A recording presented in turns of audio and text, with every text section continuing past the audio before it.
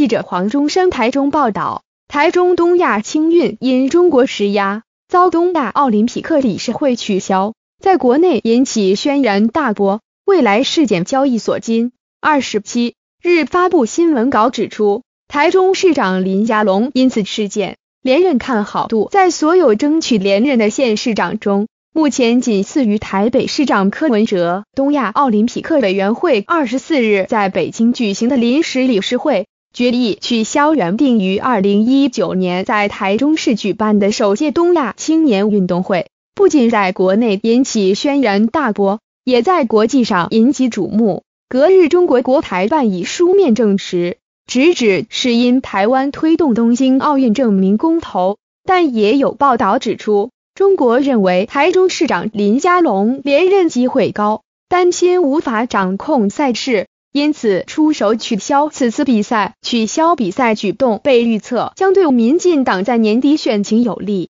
未来市检交易所今日发布新闻稿指出。台中市长林佳龙的连任看好度在一周大幅上涨，相较于五月二十三日的价格上涨六点一八元，达到七十九点零九元。于争取连任的县市长中，仅次于台北市长柯文哲。而推测原因与中国施压东亚奥会取消首届东亚青运主办权有关。新闻稿中也说，事件发生后，PTT 乡民纷纷表示。感谢中国赐票，根本 DPP 最强助选员。师大政治所教授范世平也认为，对岸硬拔台中主办权，反而让东京奥运证明公投知名度大增，同时也是在帮林佳龙助选。而近期推出超高点阅一日幕僚影片，且在半天内就透过群众募款，募集三千七百万元竞选经费的台北市长柯文哲。这次也价格大涨二十元，达到八十七点九一元，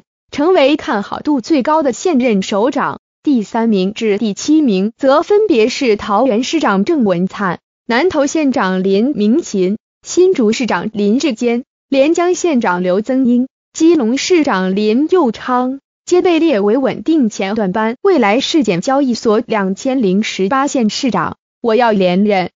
预测市场。分别设置预争取两千零十八选举连任的县市长预测市场期货清算依据，为该预测对象是否能顺利连任。若事件价格越接近一百元，表示市场预期该预测对象越可能连任成功；若事件价格越接近零元，则相反。